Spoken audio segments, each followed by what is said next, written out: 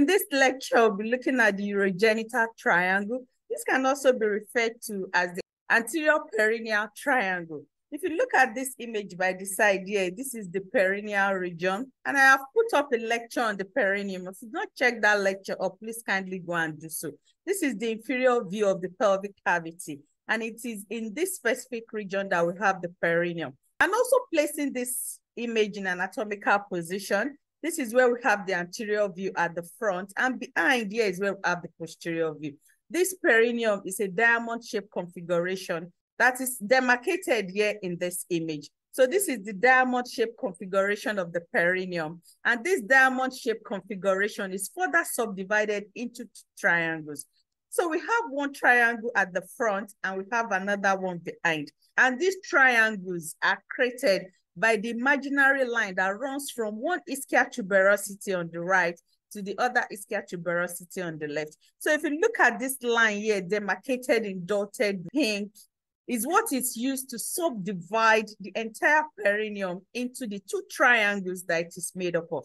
So we have one triangle at the front here, which is referred to as the urogenital triangle. And behind, we have another triangle that is referred to as the anal triangle. For the purpose of this class, we would be focusing on the urogenital triangle. We would be establishing the different structures that are seen to form the alignment of this triangular configuration and also the structures that are embedded within the space.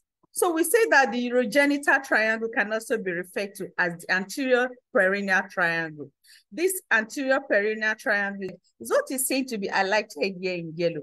We already described in our previous slide that the entire perineum takes a diamond-shaped configuration. And of course, a line running from one ischial tuberosity on the right to the other ischial tuberosity on the left is used to further subdivide this diamond-shaped configuration into two triangles. And this is where we have the urogenital triangle at the front here that is highlighted here in yellow, while behind we have the anal triangle we are focusing on the urogenital triangle. So this is the region that is marked here in yellow. The urogenital triangle is so named because within this space, we have the urinary structure and also the genital organs located within this region. And that is why it is so named the urogenital triangle, which literally means that the triangle into which urinary and also the genital structures are embedded within. So as we go through with this lecture, we'll be highlighting the specific structures that are located within the space. Just for us to know that the name urogenital triangle is so carved based on the structures that are located within that region which of course include the urinary structures and also the genital organs. And that is why it is so named the urogenital triangle. Going back to our subdivision of the entire perineal space into two triangles, we say we have one triangle at the front, which is referred to as the urogenital triangle, and we have another one behind, which is referred to as the anal triangle. If you try to compare these two triangles, you see that the urogenital triangle is more complex, and this complexity is created as a result of the structures that are located within the urogenital triangle. Within the urogenital triangle, we have the urogenital diaphragm. So if you use this image down here by the side, this is where we have the pelvic cavity. We say that the pelvic cavity is inferiorly limited by the pelvic diaphragm. And this is what is highlighted here in purple. We already described this in our previous lecture on the pelvic diaphragm. This can also be referred to as the pelvic floor. These are collection of muscles that are seen to form the inferior limit of the pelvic cavity. And this is what is highlighted here in this image. And we know that inferior to the pelvic floor or the pelvic diaphragm is where we have the perineum. So the space that is created inferior to the pelvic floor is where we have the perineum. And this region inferiorly is, is where the perineum is.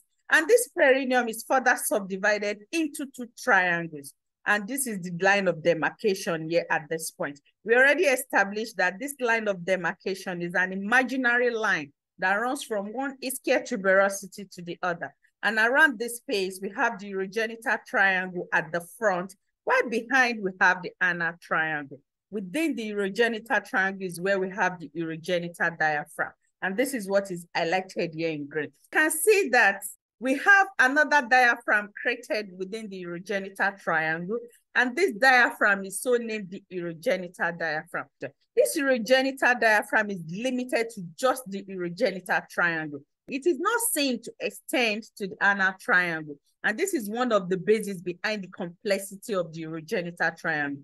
Also within this urogenital triangle, we have the perineal membrane. If you go back to this image here, this structure that is highlighted in green is what we refer to as the urogenital diaphragm. This urogenital diaphragm is superiorly bounded by the superior fascia of the urogenital diaphragm. And this is what is seen to be highlighted here in yellow. And it's also inferiorly bounded by the inferior fascia of the urogenital diaphragm. And this is what is highlighted here in red. This inferior fascia is what is specifically referred to as the perineal membrane. This is what is said to be carried here in black. This perineal membrane is the basis onto which the urogenital triangle is further subdivided into pouches. So if you go back to this image here, this is where we have the deep perineal pouch. This deep perineal pouch will then be seen to be located between the superior and the inferior fascia of the urogenital diaphragm. Remember that the urogenital diaphragm is what is said to be highlighted in green. So the fascia covering it above and below is what is said to mark the superior and the inferior limit of the deep perineal pouch. This deep perineal pouch can literally means the urogenital diaphragm. Because if you look at this space that is carved out as deep perineal pouch, the structure that is located within this region is the urogenital diaphragm.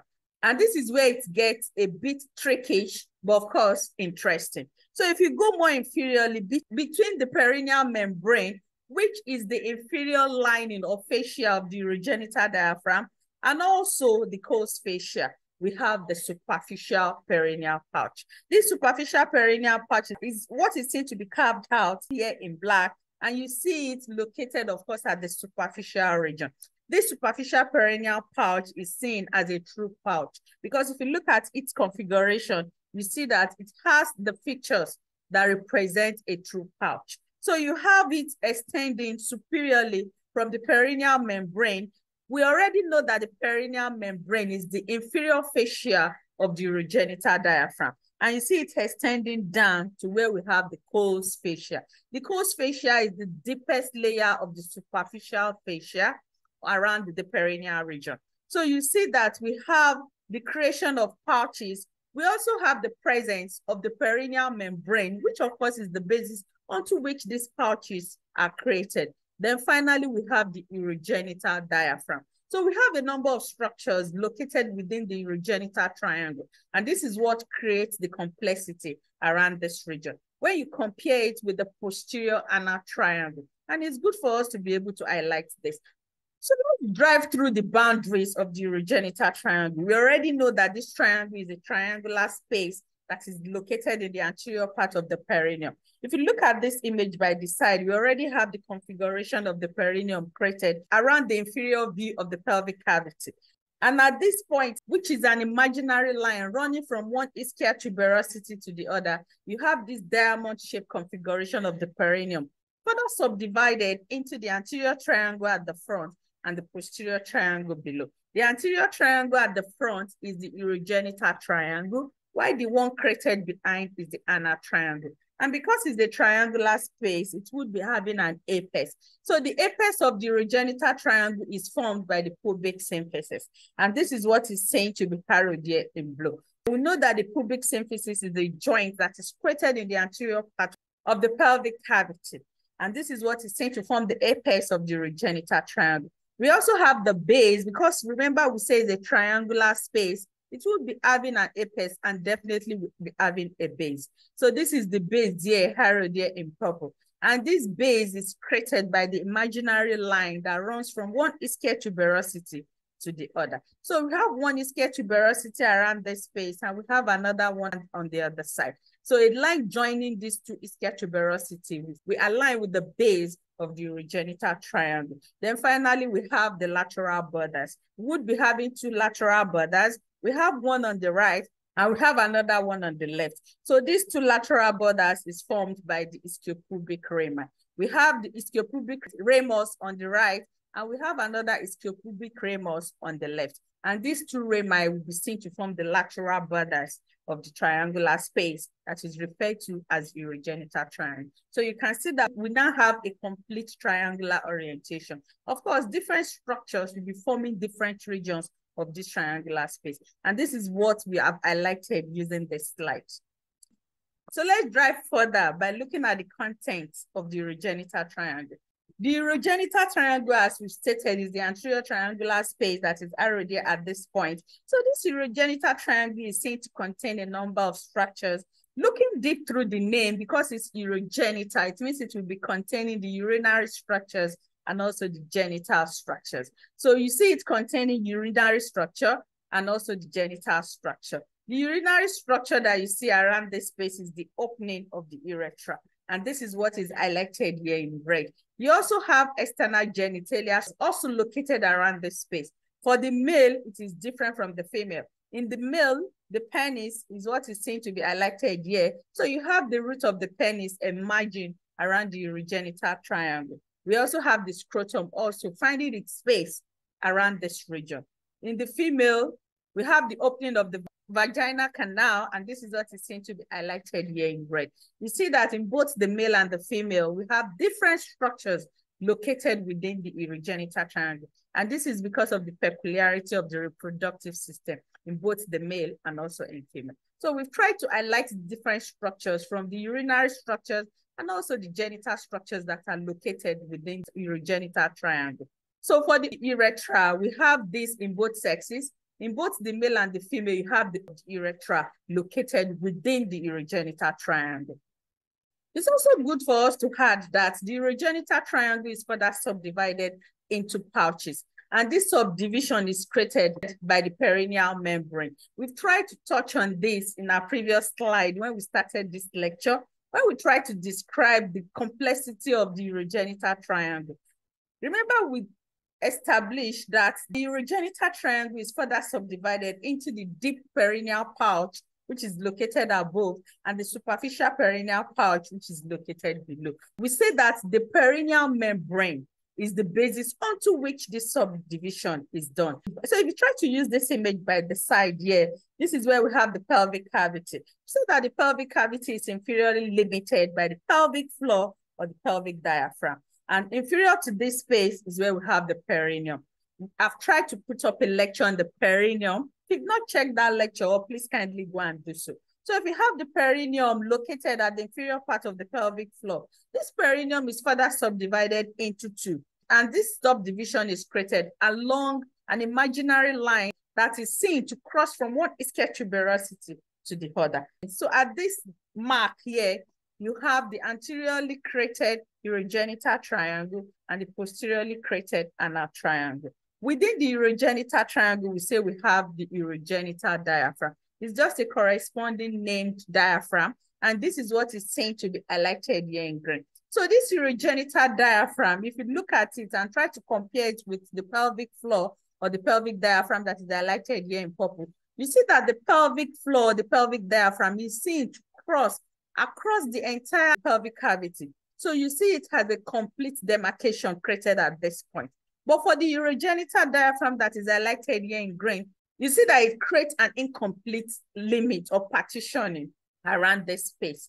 And if you look at it, you see that it is not seen to extend into the anal triangle. It is limited within the urogenital triangle. And this is why it is so referred to as the urogenital diaphragm, which means the diaphragm of the urogenital space. So you see it highlighted here in green. And this urogenital diaphragm is further padded by a superior fascia and also an inferior fascia. So we have the superior fascia here highlighted in yellow, and this is referred to as the superior fascia of the urogenital diaphragm. And inferiorly, it is also covered by an inferior fascia, which is referred to as the inferior fascia of the urogenital diaphragm. This inferior fascia of the urogenital diaphragm is what is specifically referred to as the perineal membrane. So it has a distinct name given to it, and this is referred to as the perineal membrane. And this is what is seen to be carried here in black. This perineal membrane is the basis onto which the urogenital triangle is further subdivided into the deep perineal pouch and also the superficial perineal pouch. So if you look at this region here that is demarcated in black, is where we have the deep perineal pouch. We say that the deep perineal pouch is the space that is created between the superior and the inferior fascia of the urogenital diaphragm. And this is what is saying here in this image. We also say that the deep pouch is not a true pouch because if you look at its configuration, it literally translates to the space where the urogenital diaphragm is embedded within. And this is where we say it gets trickish. But if you look at the configuration of the deep pouch, you see that it does not present the feature of a true pouch. The deep pouch can also be represented with as the urogenital diaphragm. Because in this space, the structure that is contained within this region is the urogenital diaphragm. Then if you go more inferiorly, you have another superficial space that is created between the perineal membrane, which is the inferior fascia of the urogenital diaphragm, and the Colles fascia. And this is the region here that is also carved out in black. And this region is referred to as the superficial perineal pouch. And this is located at the superficial region. So below, you have the superficial perineal pouch, while above, you have the deep perineal pouch. If you look at the configuration of the superficial perineal pouch, you see that it has the feature of a true pouch. This is what a true pouch represents. So you now see that these pouches are created within the urogenital triangle. And this creation is as a result of the inferior fascia of the urogenital diaphragm, which is referred to as a perineal membrane. So it is this perineal membrane that subdivides the triangular space in the anterior region of the perineum, which is referred to as the urogenital triangle, into the deep perineal pouch and also the superficial perineal pouch. You can see how interesting this is. And I hope that going through this lecture slide, you will be able to understand the basis behind the formation of these pouches. And this is where it gets a bit difficult for students to understand. Thanks for watching this video. Let's continue to stay glued to this channel.